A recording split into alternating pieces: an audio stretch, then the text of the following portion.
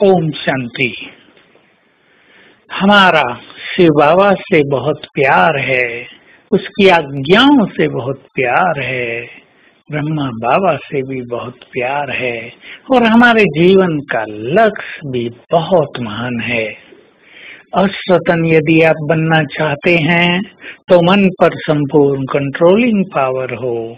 Stop कहा और stop हो गया।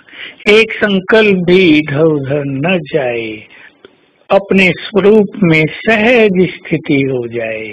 ये है सेकंड में शरीरी होना, ऐसी पावरफुल आत्माएँ ही अस्वतन बनती हैं।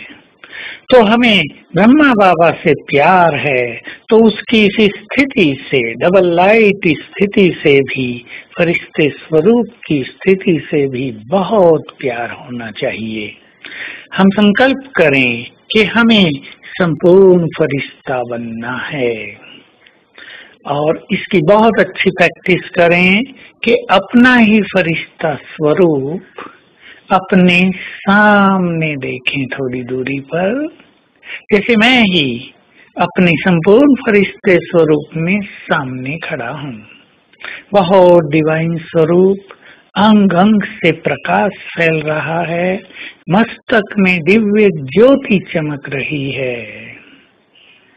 और फिर ये मेरा ही फरिश्ता स्वरूप मेरी ओर बढ़ता है और मेरे इस देह में समा जाता है। मैं हो गया फरिश्ता। फिर अभ्यास करें, मेरा ये फरिश्ता स्वरूप बाहर निकल के सामने की ओर जा रहा है। फिर सामने खड़ा हो गया। मैं डबल लाइट फरिश्ता हूँ। फरिश्ते स्वरूप की स्थिति बहुत ही सुंदर है। इसी स्थिति के द्वारा विनाश काल में हम बहुत अच्छे अभ्यास और अनुभव करेंगे। हम सभी को सहारे का अनुभव कराएँगे, सहयोग का अनुभव कराएँगे। उन्हें बल मिलेगा, ढाढ़स मिलेगा कि हमारे इस देव, हमारे साथ हैं। डरने की कोई बात नहीं। तो बार बार फरिश्ते स्वरूप का अभ्यास करें और दो बातों की प्रैक्टिस इसमें। डबल लाइट रहें और अपनी पवित्रता को आगे बढ़ाते चले, क्योंकि फरिश्ते संपूर्ण पवित्र होते हैं, फरिश्ते निर्भय होते हैं, फरिश्ते सबके होते हैं, फरिश्ते मैसेंजर होते हैं, वो बहुत शक्तिशाली होते हैं।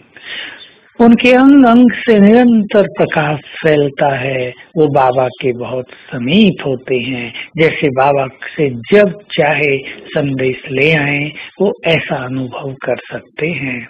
हम केवल लक्ष्य बनाए, हमें फरिश्ता बनना है। तो हम डबल लाइट रहेंगे या ये हम इस स्वमान में स्थित हो जाएँ? कि मैं फरिश्ता हूँ, बनना नहीं है मैं हूँ तो मैं डबल लाइट हूँ। कोई भी बात मुझे बोझिल नहीं कर सकती, कोई भी बात मुझे बाँध नहीं सकती, मेरे पैर धरती को टच नहीं कर सकते। अर्थात इस संसार के किसी भी आकर्षण को, आकर्षण में मेरे पैर बंध नहीं सकते, मैं तो उड़ता हुआ स्वतंत्र पंछी हूँ। संसार की कोई माया, कोई आकर्षण, कोई बंधन मुझे उड़ने से रोक नहीं सकता। ऐसे संकल्प करेंगे। हमें ये नहीं भूलना है कि हमारे संकल्प ही हमारी स्थिति का निर्माण करते हैं।